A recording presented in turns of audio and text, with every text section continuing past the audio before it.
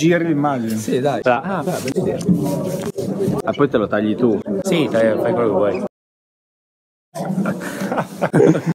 Routine di studio. Oggi ragazzi il video è complicato perché la tematica è un po' difficile. Quindi prima di cominciare vi invito a iscrivervi al canale, cliccare sulla campanellina per attivare le notifiche e andare sul mio andare sui miei social Instagram e Facebook, andare sul sito Castube a leggere l'articolo. È difficile questo video perché? Perché mi avete fatto un po' di volte questa domanda, mi dici qual è la routine di studio giusta? E non è semplice perché per ognuno la routine è diversa, uno si trova meglio con un metodo ma non con un metodo libero, nel senso con un metodo di studio, uno si trova con un altro metodo di studio, quindi ognuno ha la sua. Oggi voglio provare a dirvi la mia, non tanto quella che io ho usato nel tempo, ma voglio dirvi quella che secondo me ad oggi è la routine migliore, il modo migliore migliore per cercare di diventare batteristi migliori. Sembra la pubblicità del... non lo so. La prima cosa che secondo me un batterista deve fare quando dice ok adesso mi creo la mia routine di studio è pensare cos'è per me la batteria. Nel senso lo voglio fare di lavoro, lo sto facendo di lavoro, lo voglio fare come passatempo, lo voglio fare perché dopo otto ore in ufficio a lavorare voglio arrivare a casa e sfogarmi e spaccare tutto. La routine di studio cambia completamente e ovviamente per quanto mi riguarda se uno vuole arrivare dopo otto ore di ufficio o otto ore di qualsiasi lavoro, che ne so, l'ufficio è la prima cosa che mi è venuta in mente, e spaccare la batteria per fogarsi, secondo me è giusto che lo faccia, nel senso,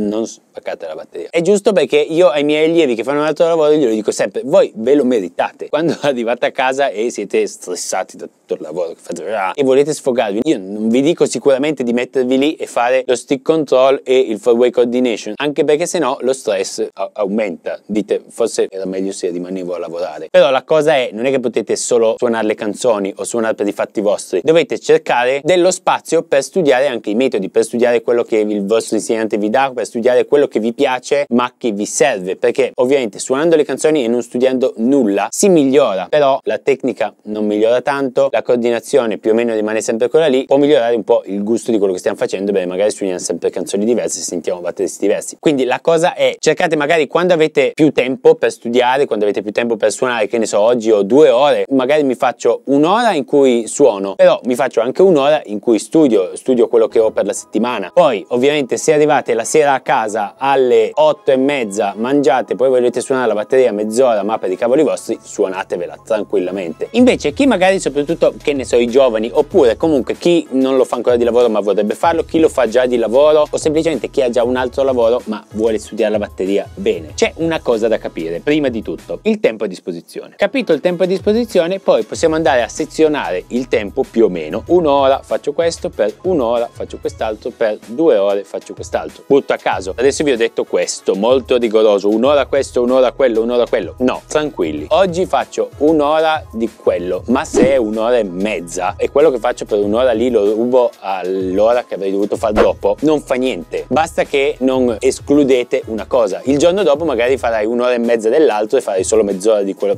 cioè, tranquilli, non vi preoccupate di questo. Perché ve lo dico? Perché io ero così. Nel senso, 40 minuti di quello. Allora, 40 minuti, guardiamo l'orologio oppure mettiamoci il, il timer. 40 minuti, pic, stavo facendo l'esercizio. Ah, mi è quasi venuto. Eh, no, sono passati 40 minuti, quindi basta.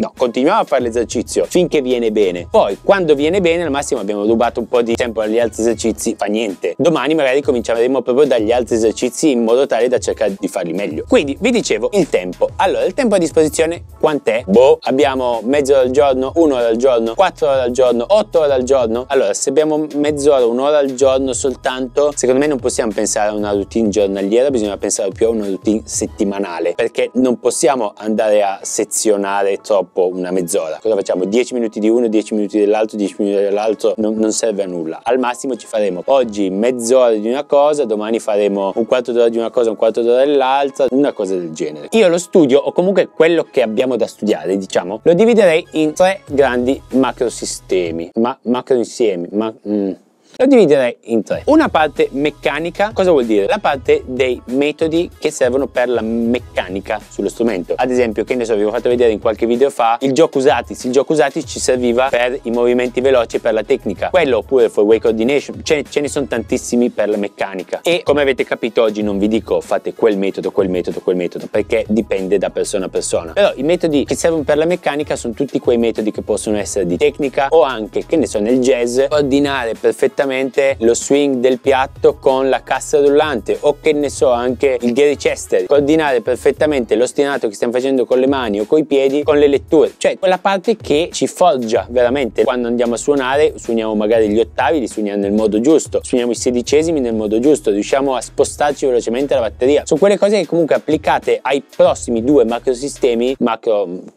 cosi, vabbè, ci servono veramente tanto. Poi, secondo macro coso, quella parte che pochi batteristi fanno e pochi batteristi sa sanno che esista, il tempo. Allora, quanti di voi studiano il tempo? Io sono arrivato a un certo punto, quando sono, mi hanno chiamato con una band, a dire, vabbè, ma lì suoniamo a metronomo, che problema c'è? Oh, ma io sono uscito da, dall'Accademia del Suono, ho preso un bottone, cosa stiamo, di cosa stiamo parlando? Non sapete con chi state parlando. Poi sono arrivato al primo live e mi hanno detto, o vai a tempo, eh, oppure studiare tutta quella parte sul tempo, tutta quella parte un po' cervellotica che dove bisogna pensare veramente al tempo fatto bene, capire le pause, quanto tempo devi andare alle pause, tutti quegli esercizi che in realtà ogni tanto vi faccio vedere sul tempo e che possono essere degli esercizi che ho preso da Benny Greb, che degli esercizi che ho preso dai libri di dei Lazzaretti, tra l'altro i libri di dei Lazzaretti sono tra i libri secondo me migliori per studiare il tempo e ti aprono la mente, oppure anche tutti quei metodi tipo quelli di Gavin Harrison sulle poliritmie, su tutte queste cose qua dove comunque andiamo andiamo a sforzare il nostro cervello tantissimo. Sono quegli esercizi dove ci sentiamo come se avessimo studiato 8 ore. In realtà non abbiamo studiato 8 ore, magari abbiamo studiato solo un'ora, però il nostro cervello si è stancato tantissimo perché abbiamo dovuto pensare, pensare, pensare, pensare tanto. Questi secondo me sono esercizi che pochi batteristi fanno ma sono importantissimi. Perché sono importantissimi? Sono importantissimi perché eh, sono, sono gli esercizi apposta per noi. Cacchio, dobbiamo tenere il tempo e questi sono gli esercizi per il tempo Ultima parte invece è la parte più creativa, quella un po' più divertente, quella che ci serve anche di più magari quando andiamo a suonare. E cosa vuol dire? È la parte in cui dobbiamo andare a suonare delle canzoni, dobbiamo andare a studiare delle canzoni nuove, dobbiamo andare a studiare magari una parte del fraseggio. Quindi di questa categoria ci sono molti metodi, ad esempio che ne so, il Gary Ceffi, mi viene in mente tutti i tipi di Gary Ceffi, dove si parla di sticking, dove si parla di linear. Ci sono questi esercizi che sono molto creativi perché lui ti dice io ti do degli ingredienti che magari possiamo studiare studiare come tecnica del pad nella prima parte che vi dicevo, quella meccanica, quindi studiamo meccanicamente come sono gli sticking. Poi dopo invece in questa parte andiamo a mettere insieme tutti gli sticking e cerchiamo di applicarli sulla batteria per formare dei fil, per formare dei groove, per formare cose nuove che poi comunque sono quelle che andremo a suonare. Ma questo non significa solo quello che vi ho detto adesso, non è che solo ceffi bisogna suonare per la creatività, ci sono centinaia di metodi che magari vi fanno vedere un metodo, vi fa vedere più la parte linear sticking appunto, un metodo vi fa vedere, non lo so, tutta la parte di fraseggio del jazz, un metodo vi fa vedere tutta la parte di fraseggio o creatività sul groove del rock oppure del latin, non lo so, ce ne sono tantissimi. Questo poi va a discrezione di ogni batterista. Magari che ne so, trascrivere un groove che ci piace oppure ascoltare della musica diversa, ascoltare della musica che non abbiamo mai ascoltato, dei generi diversi per capire se magari possiamo prendere qualcosa da quel genere e renderlo nostro. Tutta questa cosa qua. So che ho detto tantissime cose e non sono sono tutte cose che possiamo studiare subito, però per dare l'idea di quello che secondo me è il macrosistema. Quindi, come sezioniamo il tempo? Allora, per prima cosa dipende se siamo all'inizio dei nostri studi oppure se studiamo già da anni, perché se io ho uno che è all'inizio gli dico dai fammi qualcosa di creativo e lui mi dice All'inizio bisognerà ovviamente studiare di più tutta la parte della meccanica, tutta la parte della tecnica, tutta la parte magari anche del tempo. Dopo pian pianino incominceremo a mettere tutta la parte creativa, quindi suonare sulle canzoni, fare i feel fighi, fare i feel diversi, farsi i passaggi di un certo tipo, studiare cose nuove. Quindi non è che ci sia proprio per forza una sezione da fare, ognuno deve farsi la propria. Prendiamo ad esempio me. Io adesso sono più o meno 10 anni, 12 anni che suono, più o meno 10-12 anni che suono suono, io penso di dover fare più o meno un quarto di meccanica, un quarto di cervellotico e due quarti di creatività. Che poi può cambiare, l'ho buttata un po' lì adesso. Uno che comincia invece magari non studia subito 6, 8, 10 ore al giorno, studia un po' meno. Quindi che ne so, magari si fa due quarti di parte meccanica, un quarto di tempo e un quarto di parte creativa quando riesce a incominciare a suonare sulle canzoni, a fare queste cose. Quindi ognuno deve farsi la propria routine. Io vi ho dato un po' di di idee, ma questa è la distinzione tra i vari macro insiemi. E perché? Perché se io ad esempio dico ok, adesso mi piacciono questi tre metodi che sono Timing Rule di Maurizio De Lazzaretti, poi Time Rudiments di Maurizio De Lazzaretti e il metodo di Kevin Harrison e arrivo a fine giornata che sono molto. E poi ho studiato sempre per la stessa cosa, nel senso per il tempo, ok? Poi ci sono esercizi diversi, però veramente arrivo a fine giornata che sono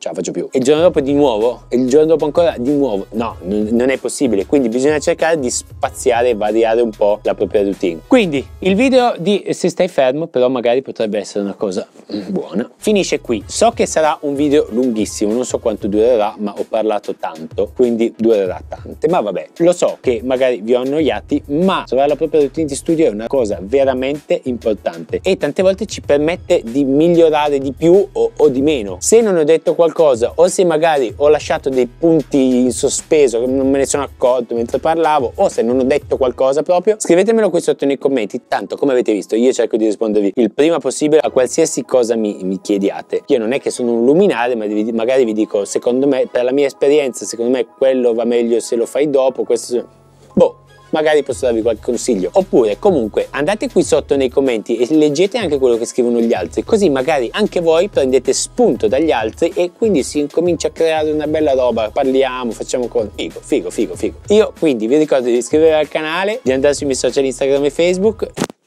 Mi è caduto il microfono. Vabbè, tanto sono alla fine del video. Di andare sul sito GasTube a leggere l'articolo e noi ci vediamo al prossimo video. Basta che è già durato troppo sto video. Ciao!